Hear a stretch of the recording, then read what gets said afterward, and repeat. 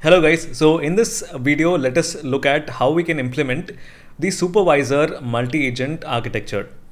So in this architecture, we define agents as nodes and add a supervisor node that can decide which agent node should be called next. So we can use the command class to route execution to the appropriate agent node based on the supervisor's decision. So this is what I want to build. So you can see that we have a supervisor agent at the very uh, top and this supervisor agent has four different agents underneath him. So we have the enhancer agent, we have the researcher agent, the coder agent and the validator agent. Okay, so if the user prompt, if the supervisor agent thinks that the user prompt is not really clear, if it is not vague, if it is a little vague, in that case, the supervisor agent can always employ, it can always use this enhancer agent to make the prompt better, it, to rephrase it better. Okay, so, so right after the enhancer is done with uh, the enhancer's work, the control flow is going to come back to the supervisor agent again. So now the supervisor knows, okay, the prompt is better. Now it's going to look, okay, so does this particular prompt require research from the internet? In that case, it's going to, you know, it's going to hand it off, hand off the control to the researcher. So once the researcher is done, it's going to come back. And the same thing for coder as well. So if there is a particular problem that requires some code to be written, in that case, you know, the control, the supervisor can hand off the control to the coder agent and the coder agent can actually use an actual tool okay that tool we are going to be looking at that tool is going to actually uh, execute code okay? It's going to take that output and uh, give it okay? So that is also something that we will look at. And then finally we have the validator agent okay? So right before ending this workflow the validator agent is just going to check if the user's question and the final answer is actually relevant or not okay? So this is what we are going to be building out. So let's actually without wasting any more time jump into the code so right here, you can see that these are some very standard imports that I'm doing, right? I'm importing, you know, Pydantic because there are some structured outputs that we might have to do. And then we have human message, the Tavily tool, the command class to direct the flow of the graph. We have the state graph and then look at this part. Okay. So there is actually a pre-built graph that LangGraph provides for us to build a React agent. Okay. So uh, if you remember a couple of, uh, you know, videos before, um, in the React agent, we actually built out the React agent from scratch, right? So we can always use that particular graph and then embed it into this bigger graph. We can always do that. But if you don't want to do that, that is absolutely fine. Uh, LangGraph provides a pre-built class, okay, a method. So this is going to, you can see that it creates a graph that works with a chat model that utilizes tool calling. So you can just provide, okay, the prompt, problem statement, you can provide the tools, and then that is going to start, you know, uh, looping through the, uh, the thought action observation, thought action observation, it's going to return the final answer. So uh, in this uh, in this video, let's also explore that. Okay, great. And then we have the IPython, we, we are loading the environment variables. And then this is going to be the second tool that we are going to be using. So if you remember, I told you that this coder agent is going to have one tool, right? So that tool can actually execute code. So this is going to be that particular tool. Okay, so it's going to be the tool for running Python code in a REPL. So if I go in here, you can see that it is a tool for running Python code in a REPL, right? All right, so I'm taking it from LangChain experimental. You probably would not have it installed already. So go ahead and install that as well. Perfect. All right. So coming down, these are very, uh, so we're initializing the LLM and then we're initializing the Tavily search and then we're initializing the Python REPL tool as well. Okay, so if I go ahead and run this, okay, so you can see that we are getting five as an output. Okay, so you can imagine that there might be some cases where the LLM just writes the code and then it might ask, you know, uh, it might actually use this particular tool to, you know, better get accurate answers. All right, so I hope this makes sense. Before I continue forward with explaining the rest of the code, so you can see that I've already gone ahead and created the supervisor node, okay? And then uh, I've created the enhancer node, uh, the research node, the code node, right? And finally, we must also have the validator node as well. So I've already created all of these nodes, but before I actually move on to explaining each and every single node, I first want to show you the graph. Okay, so this is the graph that we have. So this is very similar to what I showed you, right? So we have the supervisor node up here. We have the enhancer. So if the supervisor wants the prompt to be enhanced, it's going to come here and then it's going to uh, report back to the supervisor.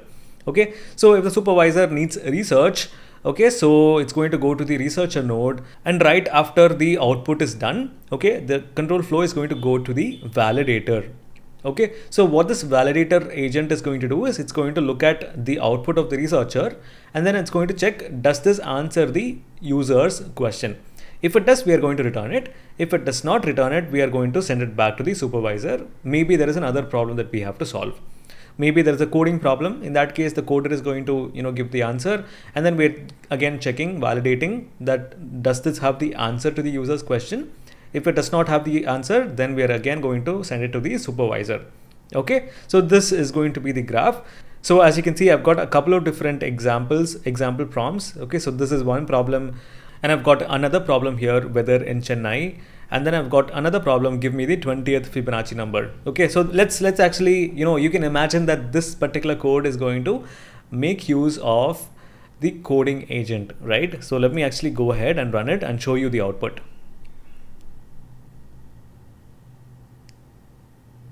okay so pprint is not defined okay and that is not running because okay let me just copy copy and put it over here okay because I don't want to run that particular block right now okay so now this should work. All right great. So we actually have the answer right here so let's actually see what happened. So the workflow initially transitioned from the supervisor to the coder okay? The supervisor correctly figured out that this particular problem requires the coder agent. So that is why the supervisor is first saying the user is requesting a specific numerical result from a well-defined sequence. Okay, the Fibonacci sequence, which is best served by calculating the value using a coding implementation. The problem is clear and structured, making it appropriate to move it directly to the coder for computation. Okay, so if I had like, you know, given some vague prompt, in that case, uh, the supervisor probably would have gone for the prompting agent. Okay, so, uh, you know, this particular agent, enhancer agent. But since it's already well defined, it is going to direct it to the coder. So now it is coming to the, so you can also imagine why are we using human message here? So we are using human message as the output of the supervisor because we are sort of like simulating that each of these agents are actual human beings, right? Okay, supervisor is a human, all these different people are different agents, human agents. That's why I'm using human agent here. All right. So the next thing is the coder is going to output this thing. Okay, the 20th Fibonacci number is 6765. So uh, we, we can't really look at the tool called right now. So for that, I am going to go to Langsmith. Okay, so I'm going to go to the first uh, run. Okay, so you can see that, okay, this is what we provided, right? Give me the 20th Fibonacci number. So the first one was, was the supervisor. The supervisor, you know, directed the control to the coder, right? So you can see that go to is coder. So the next thing is the coder. So right here, you can see that uh, the coder agent is actually calling the tool and it is providing the input query for the tool as well. So it basically wrote the, uh, you know, Fibonacci calculation program. It also provided 20 instead of this because that is what the human initially wanted, right? That was the initial prompt. So it's provided this thing and then finally you can see that it is going to, you know, coming down, you can see that it is calling the Python REPL tool, right? So it's calling the Python REPL tool and the Python REPL tool is outputting 6765 which is again going to be fed to the agent right so it's again going to be fed to the agent so if I come down here you can see that it is actually saying the 20th Fibonacci number is 6765 and finally the validator is also confirming that this is actually good. Okay, the answer correctly identifies the 20th Fibonacci number addressing the user's request. So now that we understand, you know, what problem this architecture solves, let's quickly go through, you know, uh, the different nodes that I've written. So initially we have the supervisor node that I've written right here. Okay, so I've defined the supervisor node and I'm also structuring the output of the supervisor node. Okay, so I'm telling, uh, give me back two different properties. So I need the next agent to direct the flow to and then I also need a reason why you think that the next uh, agent is it could be enhancer or researcher or coder. Okay so i'm just giving a description as well. So use enhancer when the user input requires clarification. Use researcher when you need additional facts. Use coder when some problem solving is required. Okay so accordingly it's going to produce either this or this or this and it's also going to give some reason why it thought that okay let's say we need to go to coder okay? So detailed justification. All right. So this is going to be the prompt. I'm providing a lot of different uh, information like you know you're a supervisor managing a team of three agents prompt enhancer researcher and coder. Your role is to orchestrate everything provide clear concise rationale for each decision. These are the three team members you know the prompt enhancer researcher coder. These are your responsibilities right I'm saying analyze each user's request and agent's response for completeness, accuracy, and relevance. Route the task to the most appropriate agent at each decision point. Maintain workflow momentum by avoiding redundant agent assignments. Continue the process until the user's request is fully and satisfactorily resolved. Okay, your objective is to create an efficient workflow that leverages each agent's strengths while minimizing unnecessary steps, ultimately delivering complete and accurate solutions to users' request.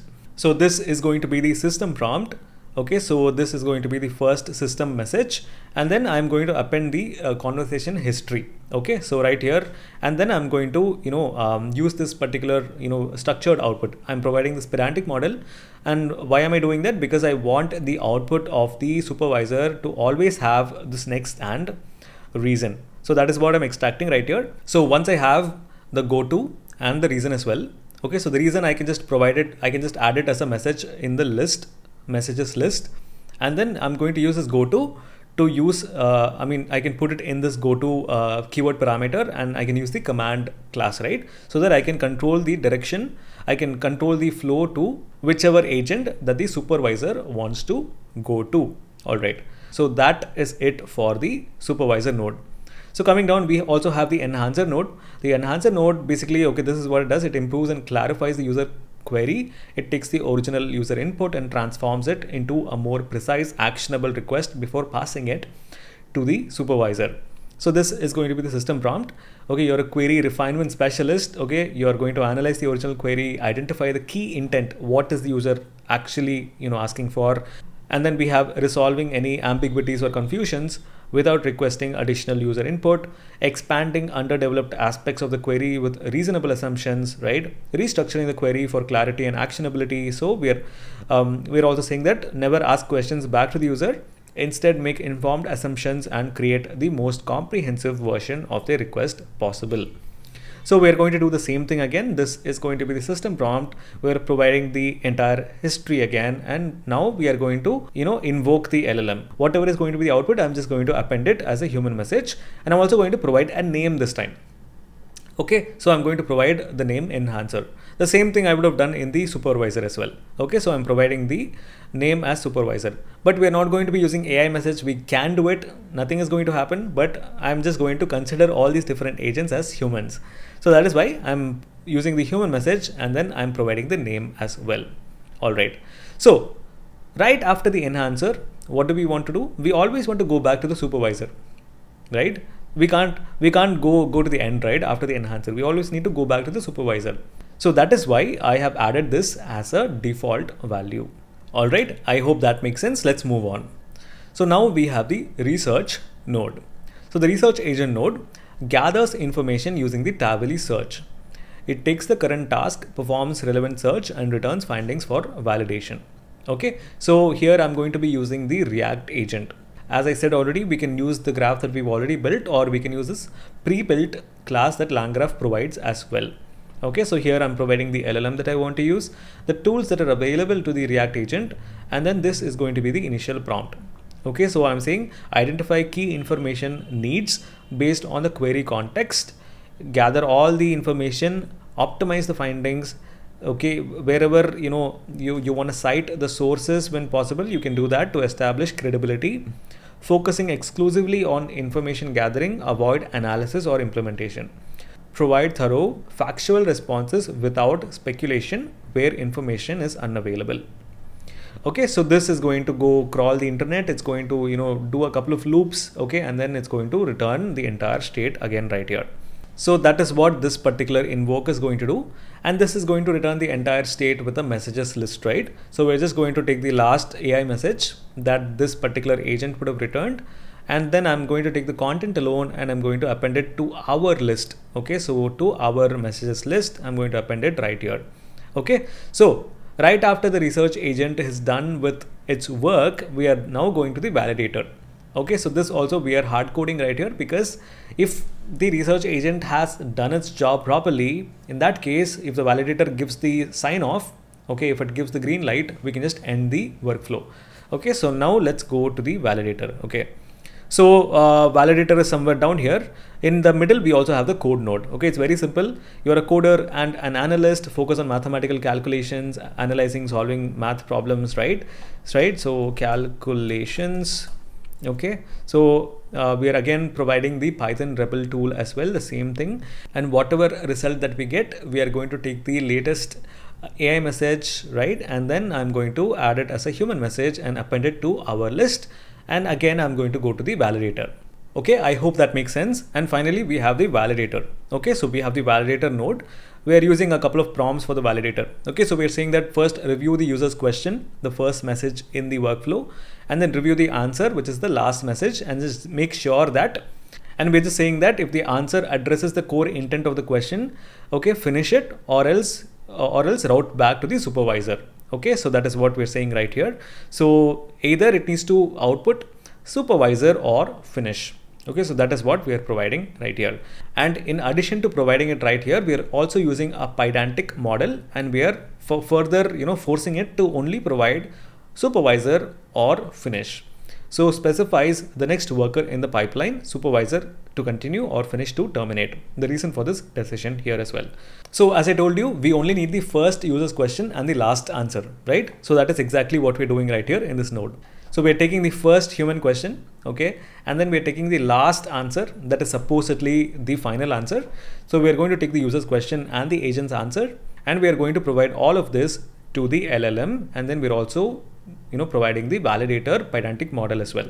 So right here, if the LLM returns go to is finish, in that case, we can end the graph. But if for some reason it does not provide finish, okay, for some reason, this final answer does not have the full answer to the user's question. In that case, we need to go to the supervisor again. So that is what I've put right here. Alright, so I hope that makes sense. So far we've built out all the different nodes. Now all that is left is to combine, put it all together into a graph. So that is exactly what I have done here. I'm adding all these different nodes and then I'm compiling it as well. Okay, so that is why we have this final graph right here, which looks pretty good. So coming down, let's actually go ahead and implement this other example that we have. So the user is asking for weather in Chennai. So in this case, you know, uh, the researcher agent is going to kick in, right? You can imagine because researcher is the one access to the Tavily search tool, right? So let's actually go ahead and run this. Okay, great. So you can see the supervisor is handing off control to the researcher. Why? The user has requested information about the weather in Chennai, which requires collecting current data. The task is best handled by the researcher who can gather updated information. So this is the reason that the supervisor is providing and using the command we are directing the uh, the flow to the validate I mean the researcher.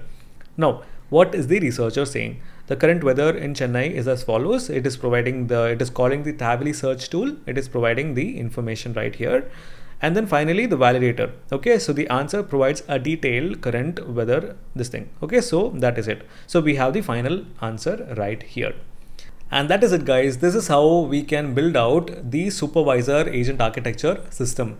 So um, do go ahead, pull the code, run it by yourself, try putting in different uh, prompts so there might be some prompts that, that might not work and that might require some tweaking uh, in the prompt. Okay, so that might require some changing prompts here and there according to the problem that you're trying to solve. And that is something that I will leave you to explore. And that is it for this particular section. I will see you in the next one.